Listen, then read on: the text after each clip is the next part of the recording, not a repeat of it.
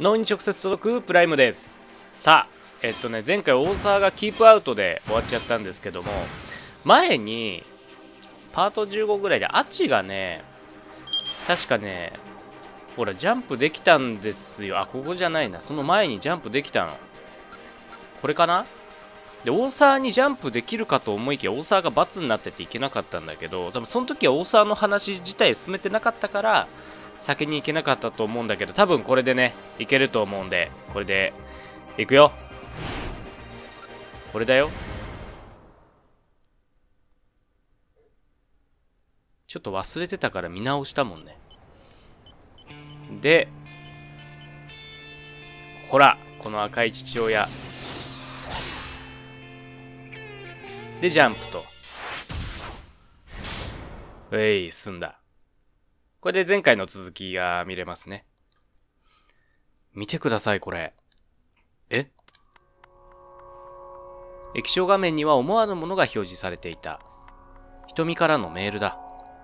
大声を出しそうになるのをこらえてメールの内容を目で追った。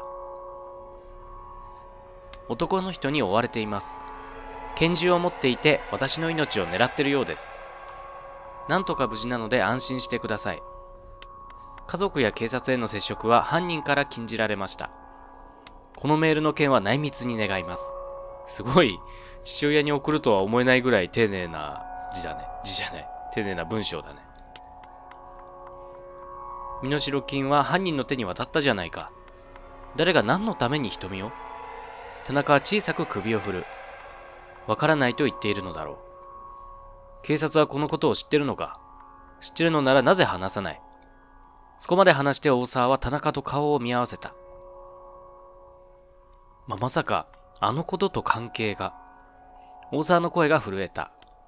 いや、たとえそうだとしても、ひとみさんを狙う理由はないはずです。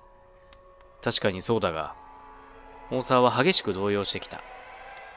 一度落ち着いて犯人、犯人像を考えてみませんか田中が冷静なのが大沢にとって救いだった。ちゃんとペーパーが折りたたまれてましたね。マリアさんの誘拐、身代金5000万、そしてひとみさんが狙われる。田中の目が鋭くなる。もしかすると、これは所長に恨みを抱く人間の犯行ではないでしょうか。恨み？そう言われてもまるでピンとこなかった。学生時代からウイルスの研究に没頭し、他人と深く関わることなく生きてきた。恨みを買うような知り合いはほとんどいない。研究所の所長になったことを妬まれるくらいはあるかもしれないが。それにしたって所長になって何年も経つ。今更そんなことで娘を誘拐したりするだろうか。最近の出来事。帰国してから何か変わったことはありませんでしたか？帰国してからか。ドキリと心臓の鼓動が大きくなった。真っ先に米国の研究所からの誘いが頭に浮かんだ。米国の研究所に移れば、大声製薬、大越だっけ？製薬には迷惑がかかる。そのことで恨まれる可能性はあるかもしれない。しかし今の時点で遺跡の件を知っているのは妻の愛しかいない。ない。ないな。何もない。いやー、奥さんちょっと怪しい気するけどね。あの感じだと。遺跡については田中にも話しにくかった。大事なパートナーを置き去りにするようで、なんとなく後ろめたい部分もあったからである。せめてもの罪滅ぼしではないが、うまく米国行きが決まった場合は、会社には田中を公認の主張として推薦するつもりでいた。それでは私が色々と情報を集めてみます。犯人は家族や警察への接触を禁じている。今思ったけどこれトイレの中からの映像になってるね。しかし部外者の田中ならうまく立ち回ってくれるだろう。すまない。君に任せる。とりあえずひとみさんとメールでやり取りをしてみます。その時、大沢は妙なことが気になった。ひとみの携帯のメールアドレスをどうして田中は知っているのだろうか。君はどうしてひとみのメールアドレスを？大沢の問いかけに田中は困った顔をする。そのことについては、この件が終わったら改めて、そう言うと田中はトイレから出て行った。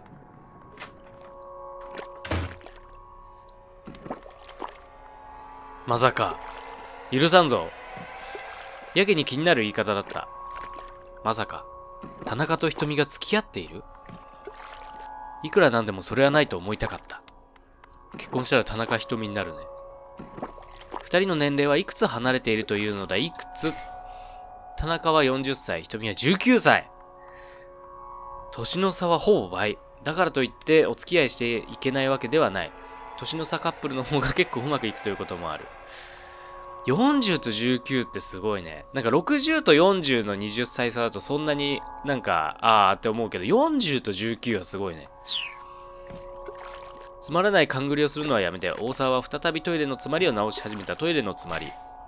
原因は紙などの流動物またはうっかり落とした固形物固形物によるものがほとんど。ごくまれにうんこが大きすぎて詰まってしまうから驚く。ちなみにうんこのうんはトイレで決まった時の声のことで、子はおそらく設備語である。以上つまらないうんちくでした。お食事中の方ごめんなさい。ごめんなさい。おや？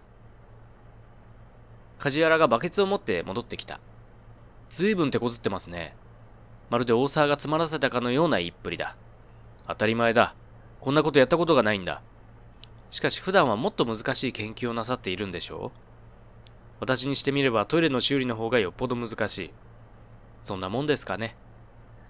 何をしに来たのか梶原は突っ立って見ている。私はウイルスのことなど全くわかりません。トイレ詰まりならすぐ治せるんですけどね。は？だったら君が治せばいいだろう。やはり梶原は人をイライラさせるプロのようだ。いいんですか？私がやって。いいに決まってるじゃないか。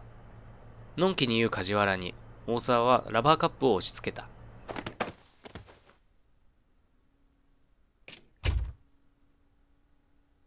トイレ修理を梶原に任せて、大沢は書斎に戻った。CD をかけ、ソファーに体を預けて大きなため息をつく。気分が妙にささくれ立っている。梶原という男にペースを乱されっぱなしだった。なんだ？書斎のドアがゆっくりと開いた。梶原です。勝手に開けないでくれ。すいません。トイレが治ったというご報告です。ああ、そう。どうでもよさそうに言った。プロを相手にしたらイライラするだけだ。あれ、随分とあっさりしてますね。なんかもっとお褒めの言葉はないんですか？よくやった梶原、2階級特進だ、みたいな。大沢は大きなため息をついた。君ね、それでも刑事なのか？それはどういう意味で？不真面目にも程がある。もっとマシな刑事に担当を変えてもらいたい。お言葉ですが、通常私のような所轄の人間が被害者宅に詰めることはないんです。だから、我ながら照れますが、それだけ私が優秀な刑事だということで。梶原は得意げに胸を張った。警察関係者だけが集まる SNS で、最も活躍する刑事としてグランプリに輝きました。SNS、ソーシャルネットワーキングサービス、警察、ん？梶原が属している警察関係者専用の SNS。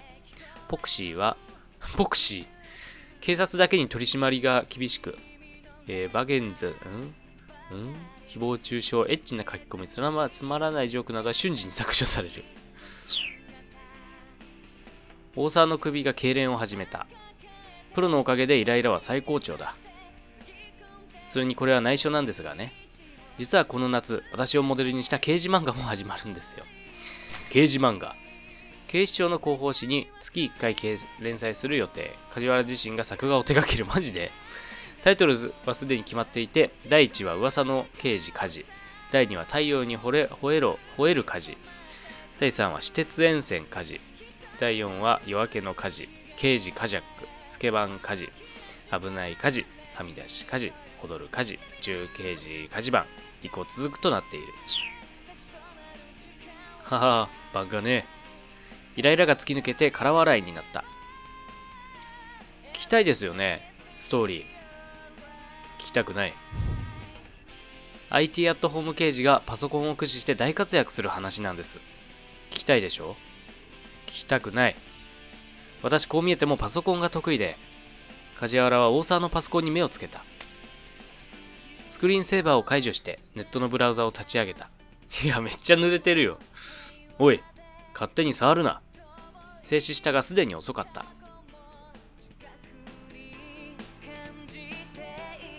パソコンのモニターに神木彩に特化した SNS サイト、あやネットが表示された。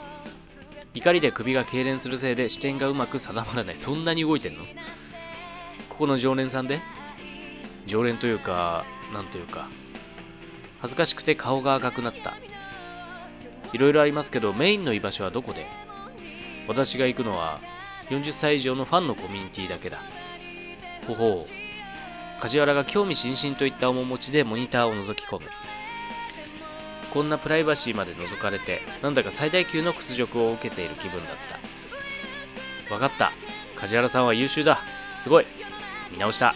だから、A、部屋から出てってくれ。大沢は、ああ、なるほど。大沢が出てくか、梶原を追い出すか。いや、主催から出てくのはちょっと、このパソコンもあるし。A だな。出てってくれ。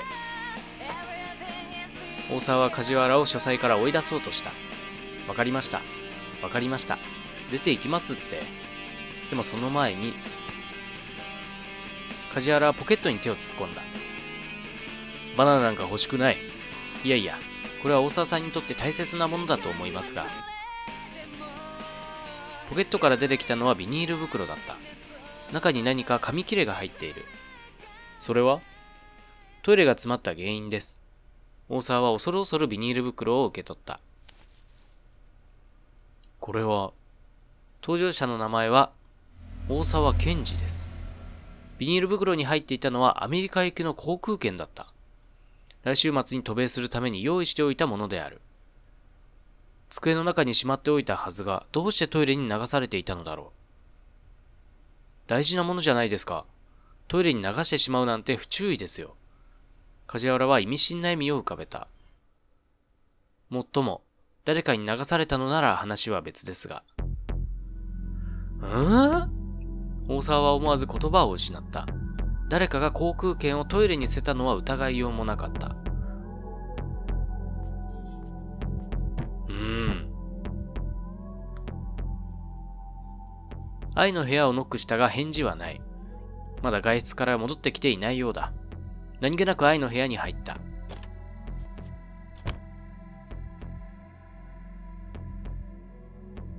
散らかってるな。白で統一された部屋にはきつい香水の匂いが漂っている。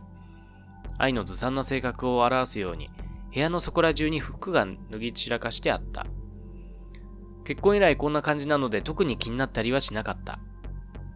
おそらくトイレに航空券を流したのは愛なのだろう。アメリカに行かせたくない気持ちもわかるが、どうせならもう少しマシな場所に捨ててほしかった。おかげで意味のないトイレ修理をする羽目になった。ブランドの服だらけのベッドに腰を下ろすと、足元で妙なものを見つけた。それは金色のライターだった。いつから愛はパスタバコを吸うようになったのだろうか。大沢はライターを拾い上げると、ベッドの脇の棚に置いた。M って書いてあるね。部屋を出ようとした時、本棚にスクラップブックがあるのに気づいた。本棚はファッション雑誌ばかりなので、スクラップブックは特に目を引いた。なんとなく気になって本棚から取り出した。スクラップブックには大沢の研究成果や会社の業績に関する記事がまとめられていた。懐かしさを覚えながら次々とページをめくっていくと、田中を副社長に迎えた時の社内報まであった。就任パーティーで大沢と田中が握手している写真が載っている。些細なものまで集めているようで、なんとなく気恥ずかしさを感じる。さらにページをめくっていると、雑誌記事の束が挟まっていた。これだけなぜか切り抜かれていない。記事を広げてみて納得した。政略結婚を仕組まね仕組まねばならない大越製薬の、えー、台所事情。愛と結婚した直後、噂の大将という雑誌に好き放題書かれたことがある。やっぱ繋がってくるね、みんなね。掲載当時は頭に来て読もうとも思わなかった。初めて記事にちゃんと目を通したが、内容は想像の範疇を超えていなかった。会社重役が娘を人身、何かの利益のために個人を犠牲にすること。簡単に言えば生贄にして、研究者の流出を引き止めた。つまり、牧野が結婚相手として愛を大沢に差し出したというのだ。結婚相手の交際事情には様々な噂も。さらに愛には結婚前に付き合っている男がいたとも書かれている。幼稚でバカバカしい内容だと思った。結婚に多かれ少なかれ打算がつきまとうのは当たり前のことだ。どんな理由があったにしても愛が妻であるという事実に変わりはない。小さなため息をつきながらスクラップブックを本棚へと戻した。ほう。書斎に戻るとすぐに CD ラックへと向かった。え、でも今のが仮にね、今の噂の大将の嘘っぽい記事が本当だとしたら、愛は政略結婚でこの大沢と結婚をして、で、もし愛が、そう、愛は大沢を大越製薬に引き止めるために結婚したんだとしたら、大沢のアメリカ行きは絶対に阻止しなきゃいけないことになるよね。結婚した意味がなくなっちゃうから。ああ、どうなるんでしょうか。神木彩の明日のために、Forevermore というアルバムを探した。このアルバムはエキセントリックなナンバーが多く収録されている。情緒が不安定になっている時こそ、あえて聴きたいアルバムだった。もともと大沢は音楽には全く興味がなかった。娘たちの誕生日プレゼントとして、その時一番流行っていた CD を買った。それが神木彩のアルバムだった。瞳は喜んで受け取ってくれたが、マリアは気に入らなかったようだ。次の日、書斎の机の上に突っ返してあった。別にいいじゃんね、CD もらっとけばよ。捨ててしまうのももったいないので、大沢は CD をパソコンで聴いてみた。激しいビートに乗ってキーの高い、あ、あでやかなボーカルがシャウトする。神木彩は詩も自分で書いていて、10代の少女の気持ちを繊細に表現していた。普通に神木彩の宣伝みたいになってるけど。自分でも信じられなかった。一曲目を聴いただけで心をわしづかみにされていた。その日のうちに全てのアルバムを買い揃えたものである。あれ？思わず声に出した。CD ラックにあるはずの明日のためにがない。どうして？どうしてないのだ？髪の毛をかきむしりそうになった時にふと気づいた。研究所だ。仕事の休憩中に聞こうと思って明日のためには研究所に持って行ってしまったのだ。なるほど。クソ。クソ。クソ。聞けないと思うと余計に聞きたくなる。今みたいにね、YouTube で聞けたりしないだろうからね。買いに行くのは状況から考えて不可能だ。こうなると瞳にプレゼントしたものを借りるしかない。いても立ってもいられず、大沢は瞳の部屋に入った。今更、今更だけど、昔 YouTube もなかったし、今みたいにネット配信で音楽買うっていうのも全然なかったから、そういう意味ではね、ほんと CD がないともうどうにもなんなかったかもね。すぐにベッドの脇にある CD ラックの中を漁った。なんだかこそ泥になったような気分だった。田中に見せてもらったメールでは、瞳も何者かに命を狙われているようだ。そんな事態に不謹慎なことをしているとは思いつつも、とにかく目当てのアルバムを探さないと我慢できなかった。ところが、ラックの中に神木彩のアルバムは一枚もない。すべての CD を引っ張り出したが、入っていたのはクラシックばっかりだった。がっくりと肩を落とすしかなかった。なんか、聴いてる種類で言ったら逆っぽいけどね、大沢がクラシック聴いて、ね、瞳が神木彩聴くならわかるんだけど。おそらく部屋のどこかにしまってしまったのだろうか。慌てて懐から携帯電話を取り出した。着信音面白いね。液晶画面には牧野と表示されている。今は家の前だ。電話に出ると牧野はたった一言だけ告げた。急いで CD ラックを片付け始めた。頭の中は牧野を追求する言葉で溢れていた。倫理的な問題に含む規定違反。自分の研究を汚されたようで許せなかった。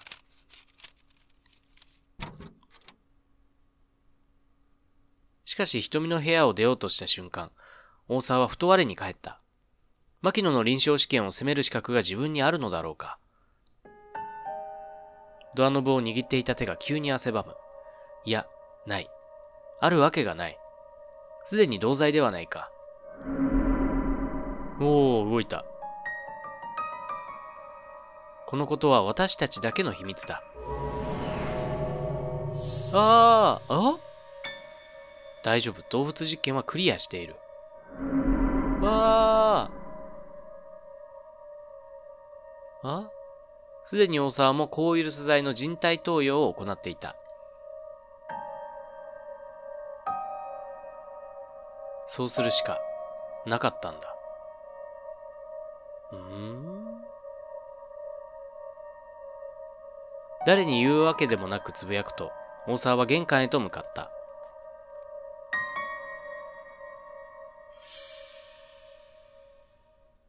To be continue これから牧野に会うというところで12時台がなんと終わってしまいました。ふぅ。これで、多摩、大沢、緑川は終わりか。